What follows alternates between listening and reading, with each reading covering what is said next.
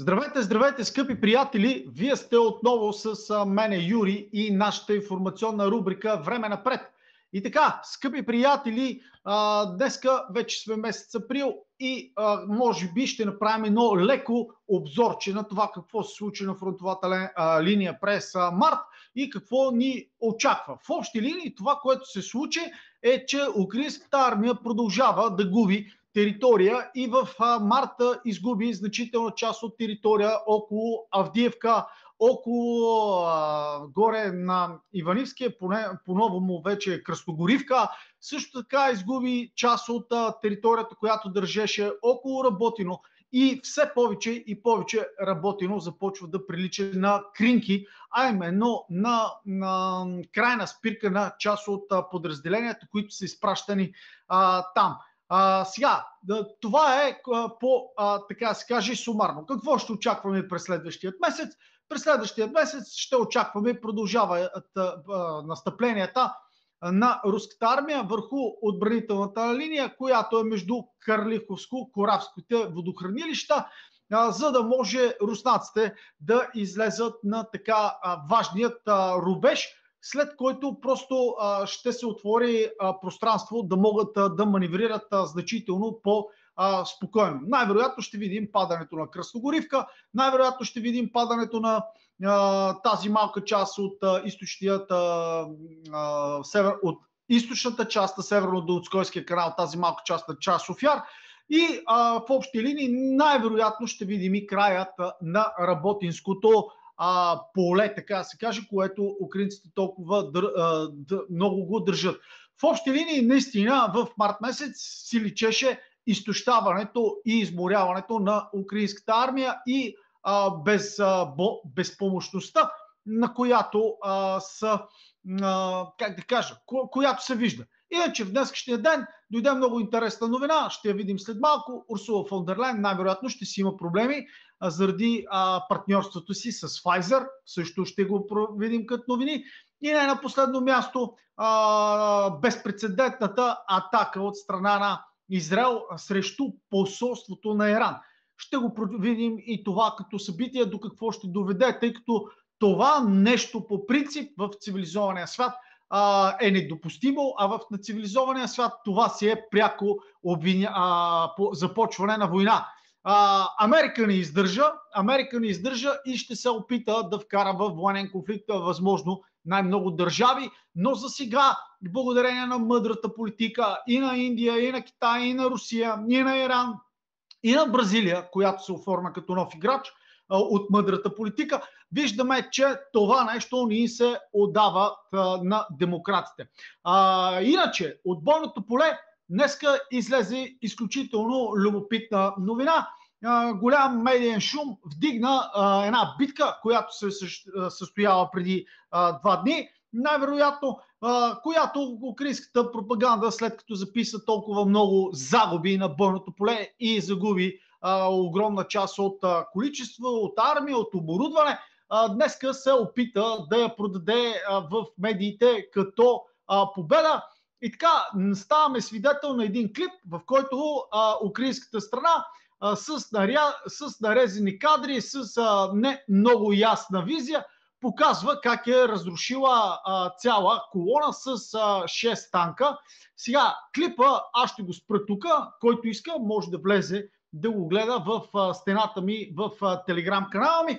А, сега, клипа а, завършва, т.е. кадрите са на 6 танка, от които лично аз нито един от танковете не ги преброявам, че е, а, така да се каже, тотално разбит. Три от танковете а, със сигурност са повредени, другите три а, дори си продължиха да се съдвижат след атаките. Има го клипа в телеграм канала ми, а, може да влезете и да го видите. Между другото, отдолу под видеото има а, описание на, на видеоклипа, веднага отдолу под клипа. Там са двата телеграм канала, двата YouTube канала, плюс телеграм канала ми. Записвайте се и се абонирайте и влизайте в телеграм канала. А, иначе Телеграм, време напред, Юрий Иванов, влизате и, се, и ставате част от него. Та, в този клип това, което виждаме е а, следното нещо. А, как се бият някакви танкове и накрая украинците показват 6, които са ударени, които пак казвам, не са, не са унищожени според мен. И те казват, че в тази битка руснаците са загубили 36 танка. От друга страна, руснаците направиха нещо а, традиционно за тях. А, именно а, пуснаха една снимка, която е част от а, тази а, битка. Ето това е руската снимка. А, сега с нетърпение очакваме да видим кадрите. Руснаците казват, че а, по време на а, атаките на тази дъга, която е Бердич Тонинке, на Таводяне, а, се казва, че са успяли да натрупат а, достатъчно техника да спасат тъй като са използвали предимно БМП-та и а, пехота и дронове и, са, и казват, че са спестили около 24 руските формирования казват, че са успяли да спестят, а, да съхранят около 24 машини. А, признават, че е имало атака в момента, аз ще ви го покажа за кои рубежи става въпрос около Тонинке, драстично нараста територията в рамките на един ден. Казва се, че са участвали в няколко сблъска с украинска бронирана, маши, украинска бронирана техника и се казва, че в тази битка те са, а, са, а, са им повредени 5 танка. Тоест, Та, ако съдим по клипа, който се показва от украинска страна и от а, клипа от руска страна, а, можем да кажем наистина, че може би 5-6 танка има ударени. Тъй като руснаците не казват унищожени, казват ударени, а, украинците казват, че са 36. Изобщо на страха очите са големи. Само, че руснаците, за да забият още един перон, успяха да демонстрират и тази снимка, която снимка е на танк Абрамс, забравен някъде в а, тези лесополоси, което показва, че и танк Абрамс е участвал в тази битка. Сега има снимки и на танков, танк Леопард 2, А6 серия, също който беше доста изгорял. Също се казва, че е тук някъде е изгорял. Сега, аз съм сигурен, че в рамките на последващите дни ще излезат малко повече детайли от а, това какво се е а, случило и какво представлява битката и реално кой какво и защо е изгубил като техника. Но като цяло а, това, което можем да фиксираме, нека да влезем на картата на бойните действия, е, че фиксираме, че всичко това нещо е станало а, в а, ето тази а, зона, ако смея да кажа е станала в опита на руската армия, когато е взела цялото това, на цялата тази площ. Виждате, доста стабилен, така да се каже, квадрат са си организирали, руснаците са си взели. А, сега, кое е много важното тук на всичко това нещо? А, само да го доначертая пак. А, сега, важното тук на това нещо е следното. Първо, че руснаците добиват а, една атака срещу тези укреп райони, които са тотално в посока запад. Също така добиват а, сила да могат да атакуват тези укреп райони на север и по същия начин да атакуват укреп районите на юго-запад. Северо, а, значи може да кажем, атаките са запад, северо-запад и юго-запад. Тоест, виждаме една диверсификация, ако смеем така да кажем, на руската атака. Сега, къде ще продължат, как ще продължат, още повече, че тук в момента руснаците натискат много сериозно. А, най-вероятно ще видим, ще станем части за свидетели на рухване на цялата тази а, фронтова линия. Аз дори мога да кажа, че тук за мен този, този част от фронта е а, колапсирала вече. А, още повече, ако кажем, че и тук горе пробива си продължава в горната част, наистина тук украинските формирования според мен са почти са разбити. А, защо? Защото просто а, имат рубежът, на който могат да разчитат да се опрат, е само ето този рубеж. И около този язовир. Тоест, нищо смислено повече като а, рубежи нямат. А, цялото това поле ще бъде подложено на руска атака и най-вероятно а, ще бъде а, прибрано е, ето така съвсем скоро. А, така че а, успехът а, на руснаците тук е видим и е а, така много значим. А още повече Тук, когато се доближат, това е централната част на а, този рубеж, който сме го говорили. Нека да го нарисуваме. А, Корахово, Кърливка и отгоре тук от, опа, кора така единия рубеж, така е другия рубеж. Ето това е, което в момента виждаме. Тоест, руските формирования много успешно успяват а, да а, си вземат ето тази част, която е много важна. Така че наблюдаваме с а, интерес развиващата се а, ситуация. А, другата по-интересна част от днескашния ден, която имаме като информация, е, че руснаците са установили контрол а, ето тук, както украинците, тъй като украинците не признават, че е взето Иванивски. А, в момента обаче руските формирования, тук на картата не е а, обновено, ето това е под контрол на руските формирования. Виждате, големият сложен укреп район, който е тук горе, вече е под контрол на руските формирования.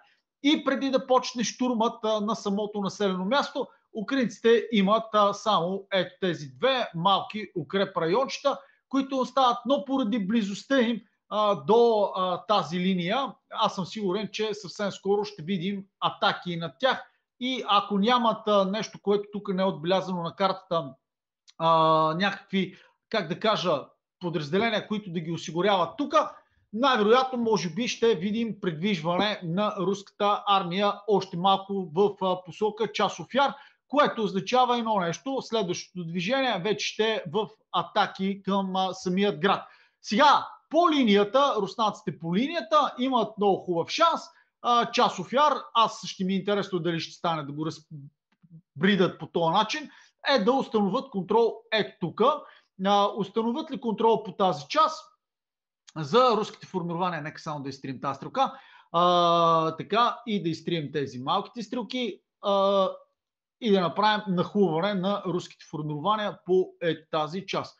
Та, установят ли контрол по тази част, а, не по пътя, директно по пътя, а, за руснаците ще е далеч, далеч по-удобно да успеят а, да зачистят и да, а, да, да изчистят този терен.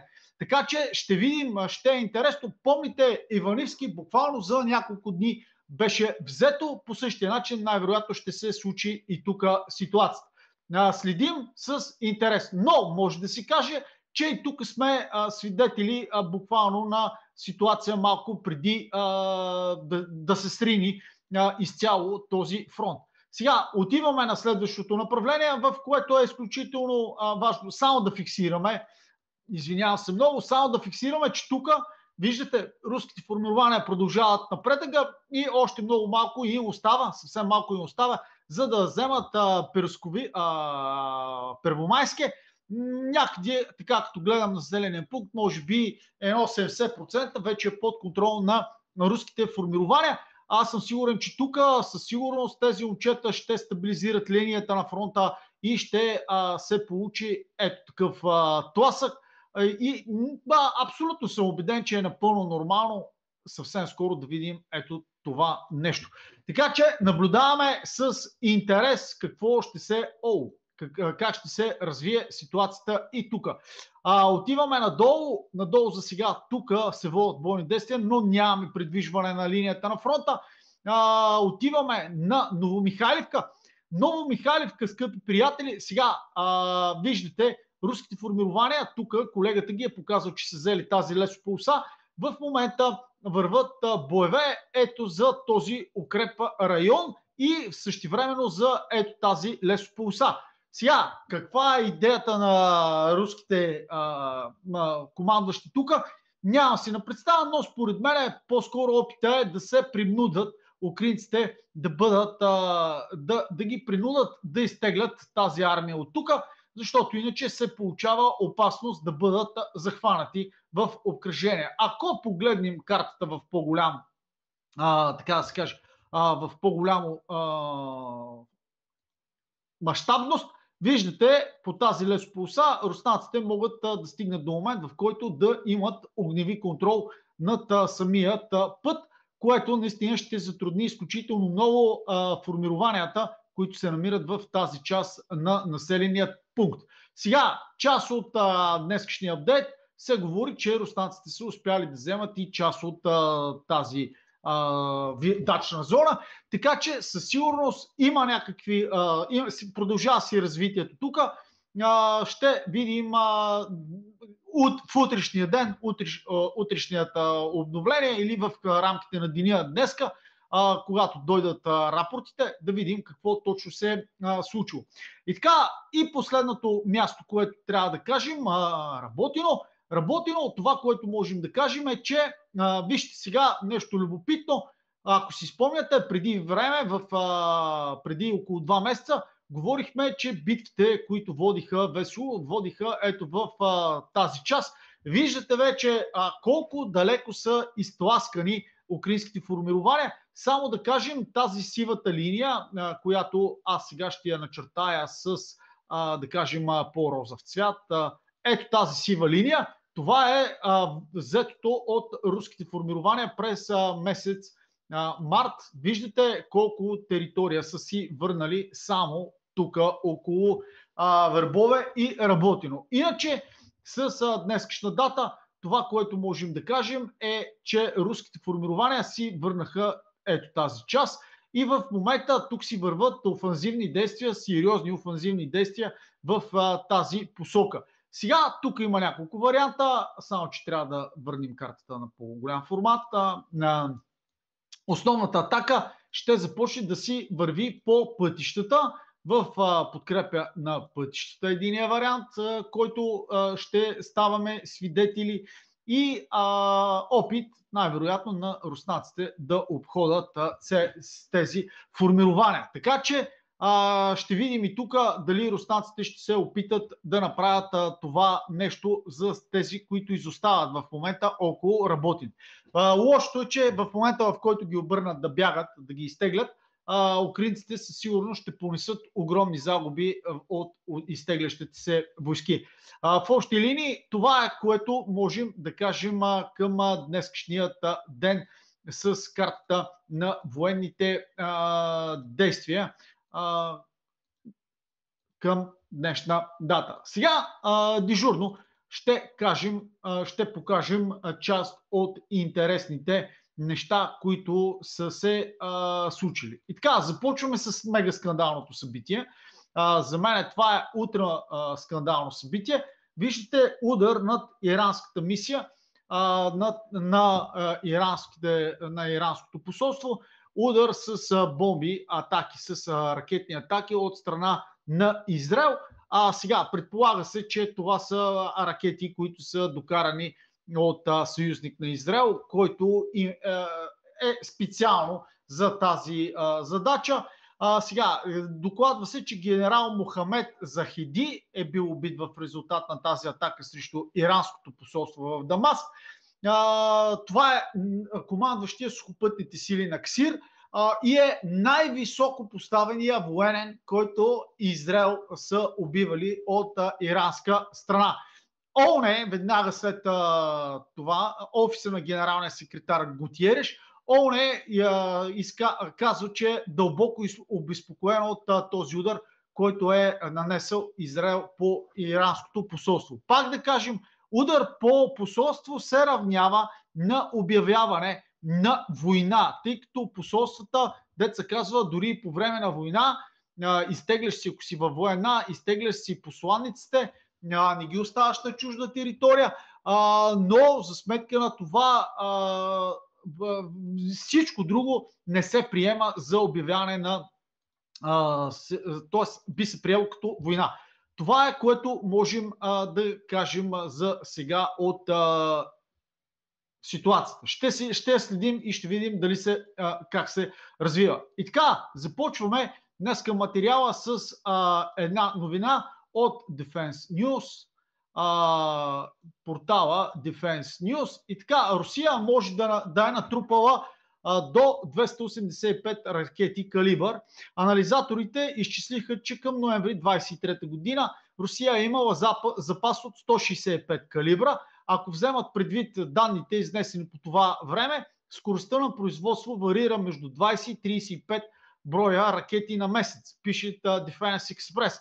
Ако вземем предвид, че Русия почти не а, не е произвеждала тези оръжия в продължение на около 4 месеца, т.е. не е използвала а, тези оръжия в продължение на 4 месеца, тогава запасът може да се е увеличил с а, между 80 и 120 ракети, което като цяло ще доведе цифрата между 245 и 285 ракети, се казва в този материал. Тоест, силно обезпокоени са анализаторите какво точно а, притежава Русия. Ами Русия притежава доста калибри. Следващият материал идва от английският стандарт. През лятото Украина ще бъде изправена пред пълно поражение. Британското издание пише, че съюзниците на Киев а, не бързат да помагат и явно се стремят да сключат сделка с Москва. Западът е объркан. Германия, Италия, Испания тихо, а, уми, а, тихо, а, умират тихо техните економики без газ, опитвайки се да избегнат по-нататъчна ескалация. А в Американския конгрес продължават граждан, а, така, гражданските борби по въпроса за помощта на Украина. Междувременно Русия нанася мощни атаки по фронтовата линия, използвайки артилерия, ракети и ударни дронове. Путин е на няколко седмици от повратната точка в Украина, отбелязва автора на а, изданието. Само да кажем днеска, испанците са обявили на търг 2, а, 8 танка от старите М60, които са свалени от, а, как да кажа, от а, дежурство от а, военните, са ги свалили през 2000-та година. Така че нищо чудно да видим и тези стари а, танкове М60, които са еквивалент на Т-62, да ги видим на фронтовата линия. Така че на война не отиват само старите руски танкове, а и съвремен, старите американски танкове. А, така, а, днеска, от днес Зеленски е, начало, е начало на Украина нелегитимно, казва лидерът на френските патриоти Флоран Фило. Днеска той изказа, показва два, прави два поста. Аз съм запазил само този, който е втория пост. В първия си пост той обвинява а, че е трябвало на 31 март да има президентски избори и той казва, че вчера трябваше да има президентски избори в страната, отменени от управляващите, пише политикът. А, и той казва, че Франция не трябва да въоръжава или спонсорира този позор, както се изразява. Иначе във втория му пост той казва следното нещо. Трябва да избягаме от глупостта на френската преса. А, изпълняващи заповеди и да гледаме чуждестранната преса за Украина.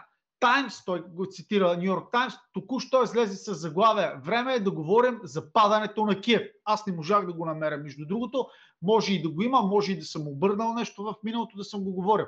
Целият, а, целият, целият настоящ сум, словесната лудост, доставките на оръжия, глупостите с а, военна економика, а, изливането на милиарди евро имат само за цел да маскират, доколкото е възможно, пълната паника на, систем, на системата. Русия очевидно спечели. НАТО загуби. Единственият разумен вариант е мирни преговори, казва лидера в своята страница в а, мрежата X. Следващата новина идва от Бразилия и така Бразилия планира да създаде условия за посещението на президента Путин на срещата на Г-20. Правителството на бразилската президент Лула Десила представи становище за правни аргументи в подкрепа на посещението на Путин в Бразилия. Въпреки факта, че той е обект на международна заповед за арест, документът беше представен миналият ноември на Комисията на ОНЕ по международно право. Пише вестник Фолха де Сауло, Фолка де Сан Пауло. Срещата на върха ще се проведе тази есен в Рио де Жанейро. Трябва ли Путин да присъства на среща на Г-20, се пита риторично в а, този материал а, на бразилската преса. Виждате, Лула де Силва продължава с а, тази политика, която беше подета от индийците много бавно, много планомерно, с много а, така, а, как да кажа, гъвкавост да успяват да налагат един мирен тон и виждате как успяват Индия, Китай, Бразилия да отделят глобалния юг от а, мисълта за бойкота от страна на а, западните държави. Там те да си се оправят, на, ня, тях да не ги пипа никой деца казва. А, следващата новина, която идва, изключително интересна. Financial Times днеска прави интервю на а, шефа на Райнметал, най-големия производител на, а, военни, а, на военно оборудване в Германия. Съединените щати няма да помогнат на Европа в случай на военна заплаха, казва изпълнителният директор на Райнметал. Блокирайки военната помощ за Киев, щатите изпратиха много ясен сигнал на своите съюзници. Те повече няма да плащат за тяхната защита, подчерта а, Армин Пеперег. Пепергер, Пепергер, абе не го знам как. По думите му, през последните десетилетия европейските лидери не са се надявали на американските помощи, но това вече няма да се случва. Сега САЩ обръщат повече внимание на Азиатско-Тихоокеанския регион, отколкото е Европа. Казва той в материала на Financial Times. Също така аз го прочетох днеска а, изключително интересен материал от гледна точка на това, че той в целия материал а, казва нещо, което аз винаги съм го твърдял, че а, Европа е крайно време да си направи собствен отбранителен съюз и да започне да си инвестира в собствената отбрана. Само, че те го изпуснаха и ако Европа в момента трябва да стане така, съм го казвал няколко пъти. Влизаш в Европейския съюз, падат ти всички международни договори с а, военни отбрани, имаш подписан военен договор само с държавите от Европейския съюз. И Европейския съюз, като една единствена групировка, държава има участие в НАТО. Оттам нататък хърта, мърта няма. Точка по въпрос. Кой ще спонсорира с войници, с армия, с пари, с това, с това? Европейски съюз да се разбира вътре себе си. Все пак трябва да си имат военен министр. Така, следващият материал, който идва на, наред е в момента няма индикация, че Русия планира да нахуе в която иде от страните на НАТО. Казва ръководителя, сега слушайте, ръководителя на военния комитет на НАТО, Бауер, не вижда опасност от а, не вижда опасност, но изисква да се подготвим за нея. Значи казваме следно. Ръководителя на военния кабинет, комитет е човека, който управлява НАТО а не оня с очилцата Столтенберг. Столтенберг само администрира НАТО, а този човек е човека, който управлява НАТО, така да се каже. Няма а, индикации, че Русия планира да атакува която е да страните членки на НАТО. Не мисля, че има пряка заплаха, казва той. Ако нещо такова се случи, отговорността на съответната държава е да се грижи за сигурността. Ако говорим за хибридна операция, Латвия, например, ще трябва да отговори на това. Разбира се, ако Латвия иска да започне консултации с други държави участници, както и, а, така, както и предвиденото в член 4, това е възможно. Ще говорим за това и ще се споразумеем как ние като Алианс ще а, процедираме, добави адмиралът. В същото време, според Бауер, а, амбициите на Русия надхвърлят Украина. Знаем това, така че Алиансът като цяло трябва да бъде по-подготвен, а, казва той в интервюто си за. А, в общи линии това е интересно, когато военните говорят, че не е чак толкова опасен конфликт, а когато цивилните а, са мятат като а, жаби, така да кажем.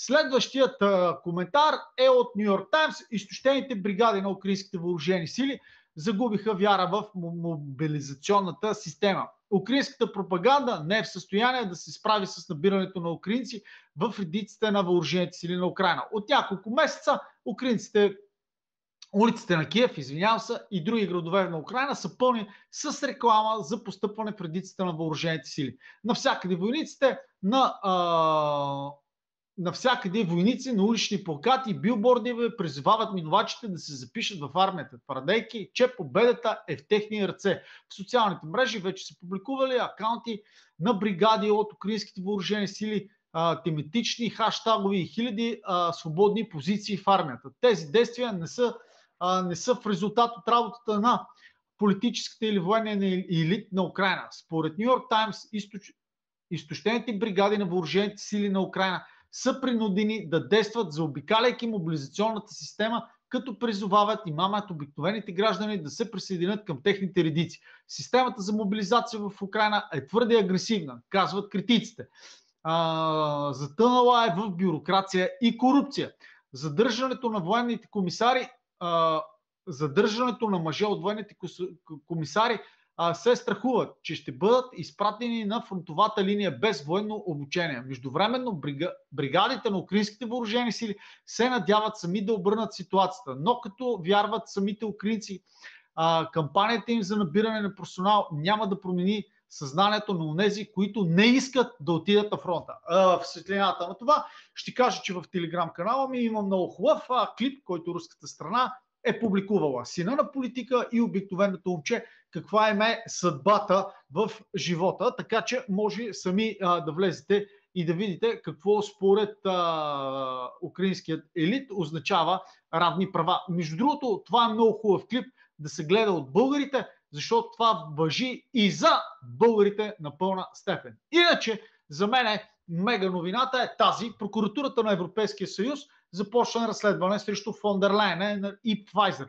Преди това, в него се, преди това с него се занимаваха Белгийската прокуратура, съобщава Политико. Все още не са повдигнати официални обвинения срещу Фондерлайне.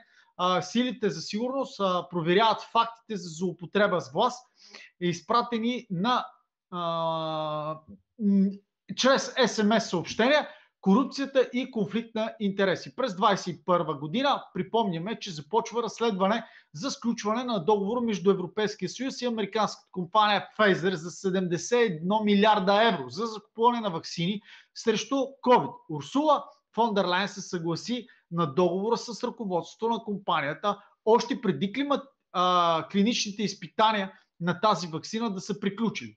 Белгийското правосъдие започна разследване в началото на 23-та, като обяви шефката на Европейската комисия в корупция, поради факта, че тя е проговорила в частна кореспонденция с шефа на Pfizer за закупуване на вакцини. А след това случайно е изтрила кореспонденцията. Вижте за какво става. Унгария също подаде жалба относно ролята на Фондерлайн в преговорите за вакцината. Полша подаде подобна жалба като на Унгария, но след изборната победа на Туск, тази жалба беше отклонена. Тоест, виждате, Туск започва да прикрива Фондерлайн, което наистина започва да а, замирисва. Наистина, изключително интересно се получават нещата, но за мен ще а, наистина ще стане интересно, ако успеят да а, докажат, че Фондерлайн е злоупотребила. Ами всички имат, а, нямаме и съмнение за това нещо. И така, ще спра тук този видеоклип. Любимата ни френска телевизия LC1, която знаете малко е русофобска, но в нея гостува един бивш военен пилот Ксавие Тетлемен, който казва, че Украина не е в състояние да започне офанзива през пролета. Категорично не вярвам на способността на украинците да възстановят а, настъплението си. Днес те не са, днес те са в период на отбрана. Те отстъпват по броя на снарядите, които се изстрелват на които се изстрелват в един ден а, между... Т.е. иска да каже, не е това хубаво превода, че снарядите, които изстрелват руснаците и а, украинците, съотношението е в полза на руснаците. За сега те са барикадираха и причиниха на руснаците възможно най-много загуби според ситуацията, в която те се намират. Според него, редовното тук пак е изгубен. А, тоест, иска да каже, че а, според него, ако не се фокусират а, партньорите на Украина в това да се а, решат проблемите на украинските а, въоръжени сили по отношение на снаряди, те наистина и ПВО системи, извинявам се, снаряди и ПВО системи, те наистина няма да имат абсолютно никакъв успех и ще продължат да губят. Което и всички казват едно и също. Всичките казват едно и също. Дали ще е Ксавие, дали ще е Лаверже, без значение. Следващата а, малка новина, която идва, е от света на бизнеса. След година прекъсване отново се доставя руски петрол в Куба. Според Reuters Русия е доставила на Куба 1,6 милиона тона петрол и неговото производство и неговите производство годишно. Сумата на договор се оценява на 46 милиона долара. Основният доставчик на петрол за страната за Куба е Венецуела, а самата Куба произвежда 3 милиона тона петрол. А, така, всички, а, всяка година Куба изразходва около 8 милиона тона а, петрол. Тоест, виждате, а, някъде може би дефицит около 2 милиона е покрила Русия. 3, 2, 5 и другото се полага на венецуелците. Съединените щати се опитват все повече да вкарат Куба в тежка криза, като ограничават доставките на храна, лекарства, петрол и други стоки за Куба. Но за сега санкциите не работят нито срещу Куба, нито срещу Венецуела. Хората някакси успяват да се а, приборат а, с а, тази а, ситуация, в която ги вкарват умишлено. И така, скъпи приятели, в общи линии това беше за днеска. Отново искам да ви помогна, да ви, а, така, да ви напомня, много важно нещо е, харесвайте клиповете, а, разпространявайте, давайте на приятели а, линковете, а, връзки. Също така, ако не сте се абонирали, абониралите се, тъй като страшно много хора липсвате от това, което гледаме. Ето пак 10 000 човека гледахте на днешният ми клип. И пак само, значи първо 10 000 човека, 1000 лайка, поне да бяха 2000 лайка, окей. От тези 10 000 човека днес гледам 48% неабонирани. Окей, половината от тях да не иска. Тоест от тези 5000, които са ми абонатите и 5000 да сте отгоре, половината, поне 2000 ви харесват. Нали? Харесвайте, абонирайте се за канала и ставайте част от а, нашата скромна общност. Това е което ви призовавам. Иначе отдолу под клиповете ми слагам линкове за YouTube каналите ми, двата ми YouTube канала и Telegram канала ми. Влизайте, натискайте бутона на Telegram канала и директно идвайте там, тъй като там мога да показвам съвсем различни клипове и наистина Телеграм канала е изключително интересен и изключително динамичен. Смея да твърда, че най-хубавият български Телеграм канал, който е изключително насочен към информацията. А, спокойно мога да кажа и на колегите от BTV, ако, ако се чуете как да си направите новините, влезте там и се научете как се правят новини. И така, скъпи приятели, сега ви пожелавам хубава, спокойна а, вечер. Ще се видим утре. Чао, чао!